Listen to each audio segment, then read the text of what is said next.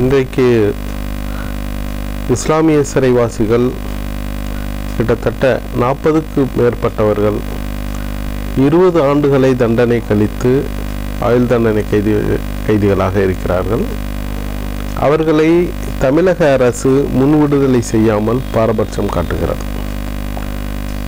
பெரும்பாலும் கோவை குண்டுவெடிப்பு வழக்கிலும் மற்றும் வேறு சில வழக்குகளில் ஆயுள் தண்டனை பெற்றவர்கள் கூட விடுதலை செய்யப்படாமல் இருபது ஆண்டுகளை கடந்து இன்றைக்கும் சிறையில் இருக்கிறார்கள்.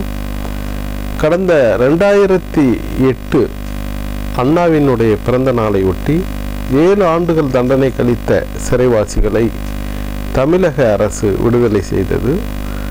அப்போதே இந்த இஸ்லாமிய சிறைவாசிகள் கூட அந்த விடுதலைக்கு தகுதியுடையவர்களாக அந்த அரசாணை பதினொன்று ஐம்பத்தஞ்சின் கீழ் தகுதியுடையவர்களாக இருந்தும் தமிழக அரசு அவர்களை விடுதலை செய்யவில்லை. தற்போது எம்ஜிஆருடைய நூற்றாண்டு விழாவை ஒட்டி கிட்டத்தட்ட பத்து ஆண்டு தண்டனை கழித்த சிறைவாசிகளை ஆயிரத்தி நானூறுக்கும் மேற்பட்ட சிறைவாசிகளை அடையாளம் கண்டு பத்து ஆண்டுகளுக்கு மேலே இருப்பவர்களை விடுதலை செய்து கொண்டிருக்கிறார்கள். இந்த நிலையில் இஸ்லாமிய சிறைவாசிகள் யாரையும் சிறை அதிகாரிகள் இந்த வழக்கிலே முன் விடுதலைக்காக பரிந்துரைக்கவில்லை. ஆகவே தமிழக அரசு இவர்களுடைய முன் விடுதலையில் பாரபட்சம் காட்டுகிறது. உச்சநீதிமன்றம் பல்வேறு வழக்குகளிலே சட்டத்தின் முன் அனைவரும் சமம். அவர்களை சாதி மதம் இனம் மொழி பால் பாகுபாடு பார்க்காமல் அரசியல் பாகுபாடு பார்க்காமல் அவர்களை முன் விடுதலை செய்ய வேண்டும் என்று பல்வேறு வழக்குகளில் தீர்ப்பளித்துள்ளது.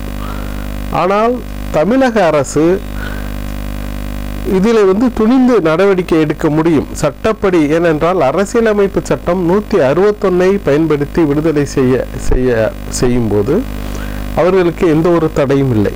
குறிப்பாக இதே கோவை குண்டுவெடிப்பு வழக்கிலே பதிமூன்று ஆண்டுகள் தண்டனை கழித்த பத்து சிறைவாசிகளை கடந்த ரெண்டாயிரத்தி பத்திலே திமுக அரசு அரசியலமைப்பு சட்டம் நூற்றி அறுபத்தொன்னை பயன்படுத்தி பதிமூன்று ஆண்டுகள் தண்டனை விதிக்கப்பட்டவர்களை பத்து ஆண்டுகள் தண்டனை கழித்திருந்தால் போதும் என்று அப்போது விடுதலை செய்தது.